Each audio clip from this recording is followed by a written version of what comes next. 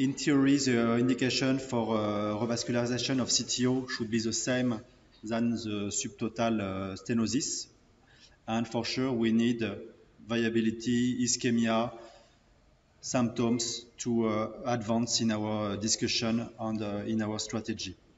So we told a, a, lot about asymptomatic patient, and it's a very difficult question. I think uh, uh, the limitation of exercise, untold symptoms, it's very subjective, and it's not always easy to, per to perceive, to, to, to know what the, if the patient is symptomatic or asymptomatic. Ischemic patient, again, uh, it's not always easy uh, I think we are deceived uh, by uh, some tests, and particularly with thallium. I'm not fond of uh, thallium. I think it's uh, quite poor for viability sometimes. It's not so good for uh, ischemia. A lot of false positive.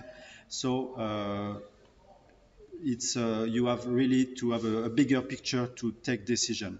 So for sure, viability is the most important part, and sh we should not uh, practice CTO uh, on a non-viable uh, territory.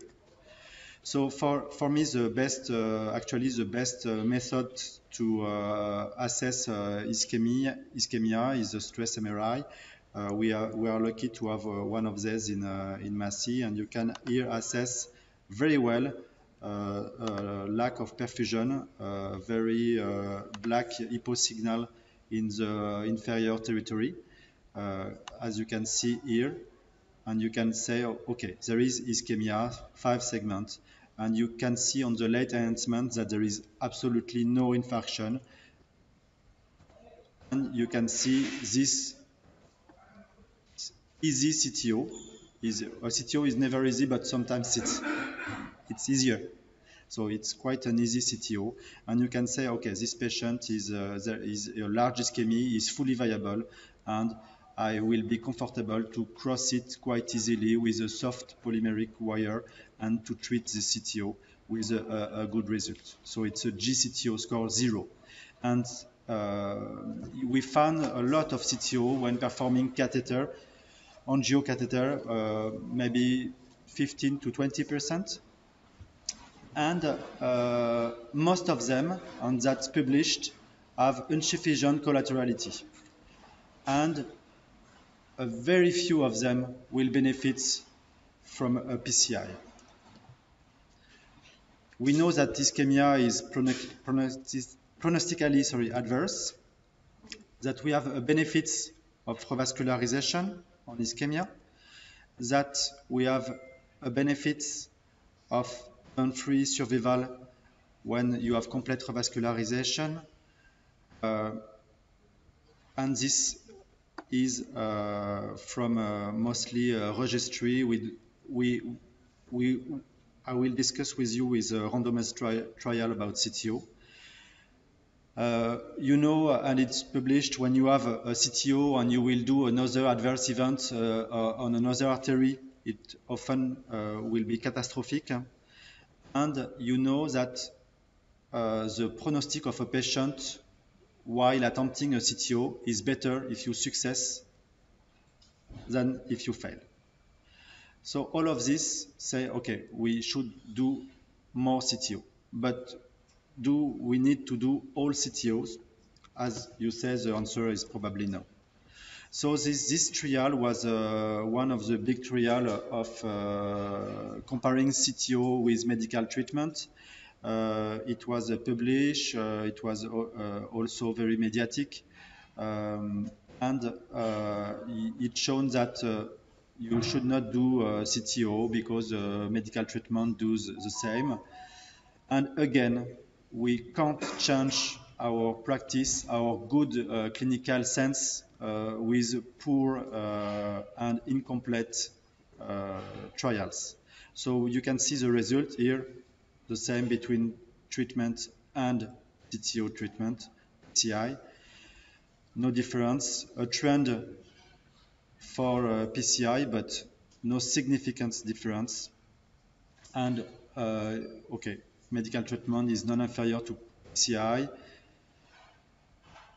but there was no uh, evaluation of viability and ischemia described in this trial. Again, the inclusion rates were very low, and there was a lot of G J-CTO score 2. The mean J-CTO score was 2.2, and despite that, 80% of the patients have been treated with anterograde wire escalation. It's quite weird, but okay. There was a high crossover in both arms, a trend, as I shown you, for lower mortality, and the follow-up is not good. Or 50 patients at three years, 20 patients at, at five years, and they still you read that they, they conclude, okay, medical treatment does the same. It's impossible to say that when you see all the critique we can do about this uh, with trial. The EuroCTO trial trial was a prospective multicenter randomized trial, stable angina, comparing treatment, medical treatment with CTO attempt. So you need to have a CTO in major artery, other lesions have to be treated before randomization. The follow-up was three years. So unfortunately, uh, the problem of the main problem of this study it was because uh, we asked uh, very famous CTO operators and very famous centers to participate, and they were already very convinced by the CTO treatment.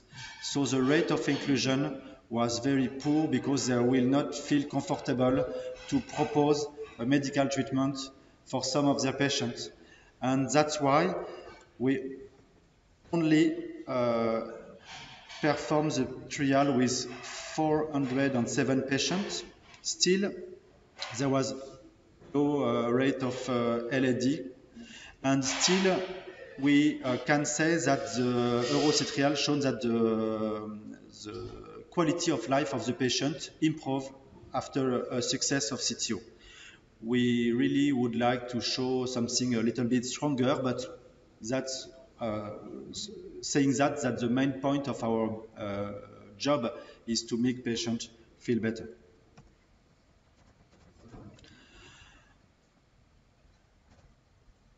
I think CTO difficulty is one of the key points of doing or not doing a CTO. So you can really on the J-CTO score, which had to be evaluated on a good angiogram, 15 image second, long sequence, see the collateral filling, avoid to move the, to do panning during the angio, and if possible, the uh, second advice is uh, always interesting and a discussion is always interesting. You can also uh, use additional criteria uh, like in uh, the castle uh, classification with calcification and previous CABG, etc. We also know that not all centers perform CTO PCI we also know that the, there is a, a, lot of uh, variability between experience between between center and operators. And you can see here that if you want to be uh, comfortable with uh, CTO and mostly with difficult CTO uh, the center have to perform at least uh, 100 CTO annual volume. Uh, and I think a, a good CTO operator should perform uh, at least uh, uh, 30, 40 or 50 CTO per year. As we say also, the complications are an issue in CTO treatment. Uh, you see when you have a complication, the prognostic is not the same with no complication. And we spoke about uh, uh, tamponade, myocardial infection, stroke, death, but X-rays and renal failure are also uh, frequent, not frequent, but not rare. Um, and you have to put this in the, in the balance. So which strategy? We have different strategy, fully antegrade approach, retrograde, true to true lumen, uh, ADR, dissection, and all this makes uh, approach different for each patient with the hybrid algorithm. And you have to aim for less contrast, less radiation, and to, to choose a strategy not from a patient and from, but only from the anatomy. I show you here one of the, I think, uh, uh, what makes me uh, beco uh, become a, a, better CTO operator. It's uh, this strategy, the retro cart is very interesting and it's really uh, help you and solve many CTO cases. So you have to perform this strategy as soon as the retrograde is known. And to, before the conclusion, I would like to show very difficult case. Here is a very difficult angiogram with a CTO of uh, circumflex and uh, first diagonal. And uh, I think in our uh, job, the principle is to, uh, to do what we know and uh, know what we do.